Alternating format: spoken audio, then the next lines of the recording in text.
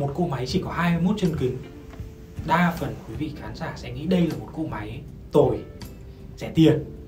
Nhưng không hôm nay hiệp sẽ giới thiệu tới quý vị một chiếc đồng hồ của một nghệ nhân đồng hồ đương đại rất nổi tiếng một thương hiệu rất hot hiện nay.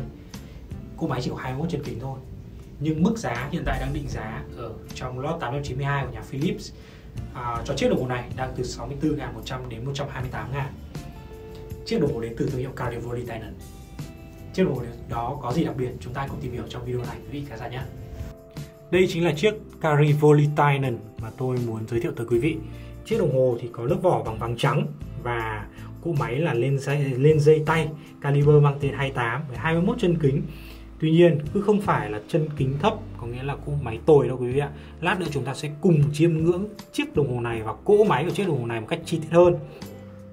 Chiếc đồng hồ thì mang tên là Vinti 8 với mặt số màu cá hồi. Thì um, trước khi đi sâu về chiếc đồng hồ thì tôi muốn giới thiệu tới quý vị về thương hiệu Cari Volitan với những ai đã yêu thích đồng hồ thì đã quá biết về ngài Cari rồi. Cari được coi là một nghệ nhân phù thủy mặt số. Ông là một trong số những nghệ nhân đồng hồ đương đại hot nhất hiện nay. Ai cũng mong muốn với những ai đã chơi đồng hồ mà sâu thì cũng đều mong muốn sở hữu một chiếc đồng hồ Cary Volitanen. Lý do tại sao? Thứ nhất, Carry sản lượng đồng hồ Carry hàng năm rất là ít. Thứ hai là chất lượng của đồng hồ Carry rất là cao. Thứ ba là rất nhiều giải thưởng liên quan đến đồng hồ liên quan đến ngài Carry Và chiếc đồng hồ trên tay tôi cũng như vậy. Sau đây thì chúng ta cùng tìm hiểu sâu hơn về chiếc đồng hồ này, đâu là DNA của những chiếc đồng hồ của ngài Carry. Nào, chúng ta cùng tìm hiểu. Thứ nhất, chúng ta có thể thấy được chiếc đồng hồ này. Hôm nay tôi sẽ ừ, giới thiệu về mặt số đầu tiên nhé quý vị nhé. Cây thân vỏ chúng ta sẽ nói chuyện sau. Đầu tiên chúng ta hãy nhìn thấy cái bộ kim. Quý vị có uh, thấy bộ kim này nhìn lạ không ạ?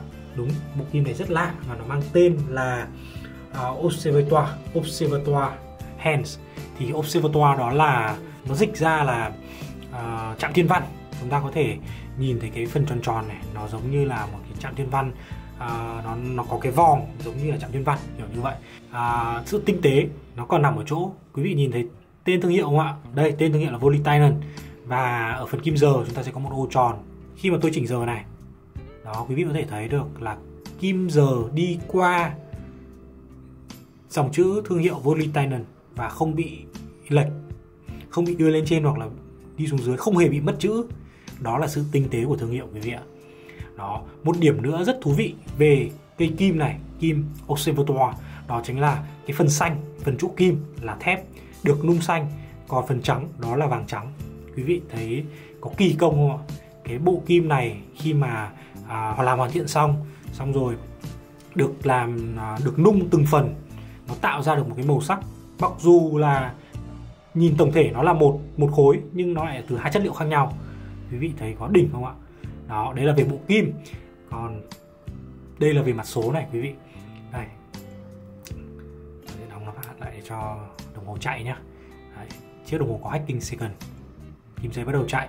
Tại sao lại là phù thủy mặt số? Bởi vì quý vị có thể thấy được với một mặt số thông thường như thế này thôi nhưng để tạo ra nó và hoàn thiện nó ngài Cary đã ứng dụng những uh, kỹ thuật rất là phức tạp. Đầu tiên là phần rìa của mặt số này và phần rìa của đồng hồ kim dây thì là uh, trải xước tròn. Đó nhưng mà nó rất là mịn nên là chúng ta phải nhìn cận cảnh cận tận mắt hoặc là dùng lúp tiếp đến là phần uh, cọc số và phần uh, đồng hồ giờ này thì là vân Cloud de Paris đó phần trung tâm thì là vân hoa đây là vân gạch. Đó đấy là những loại vân khác nhau tạo nên giá trị của mặt số Carivolitan Ok, về phần case của đồng hồ thì chúng ta sẽ thấy case của Carivolitan rất đơn giản nhưng lại hiệu quả. À, đường kính chỉ có 39mm mà thôi. Chúng ta sẽ có một cái lux mang tên là teardrop lux hay gọi là nước mắt ấy, rơi ấy. đó quý vị có thể thấy không ạ?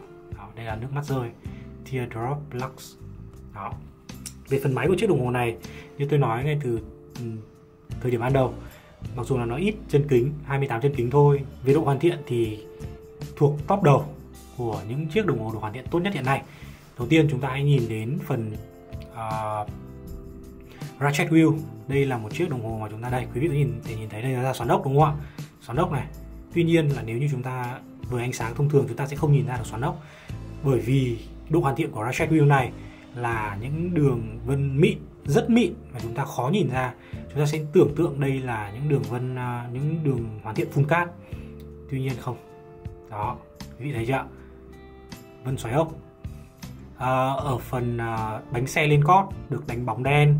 Chi tiết này đánh bóng đen. Đó đây là đường đánh bóng đen quý vị nhé à, cầu balance đánh bóng đen này. Và à, chiếc đồng hồ này thì còn có những cái chi tiết mà tôi muốn giới thiệu tới quý vị rất đặc biệt bộ balance wheel uh, lớn. Đó và ở phía dưới nó sẽ có một bộ à, uh, pallet là ngựa cũng như là hai bánh xe cân bằng. Thông thường là một. Quý vị tưởng tượng nhé bánh xe cân bằng và ngựa à, với những chiếc đồng hồ thông thường là sẽ sử dụng cái cơ cấu như thế này. Nhưng đối với cái pallet fork của chiếc đồng hồ này nó có hai bánh xe à, gai thế nên là nó hoạt động như thế này. Tách ra như này. Tách tách tách tách tách tách tách ra như vậy. Đó mục tiêu là giảm tăng tính chính xác này, giảm cái dự trữ năng lượng, giảm cái tiêu hao năng lượng. Đó, chi tiết mà tôi thích nhất ở trên chiếc đồng hồ ngoài đó chính là ratchet wheel. Đây là một vị trí mà tôi rất là yêu thích. Đó. Sau đây thì tôi sẽ lên tay chiếc đồng hồ này để quý vị có thể chiêm ngưỡng. Đây là chiếc đồng hồ ở trên cổ tay tôi, dạng tròn.